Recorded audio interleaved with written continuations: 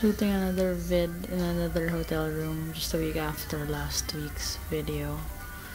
I don't know why I'm doing this. It's not like this room was the set of any significant movie, not that I know of, but it's an incredible room. And it's been the venue for the movie in my head.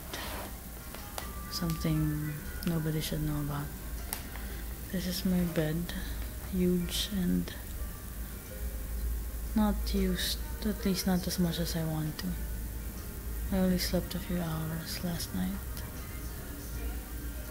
Uh, that's the walk-in closet where I will again reveal how dirty and how messy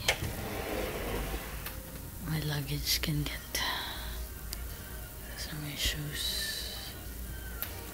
It's my water. This is really sweet. That's my name right there. That's me right there.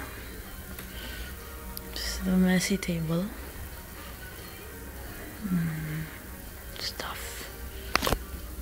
The bathroom is incredible.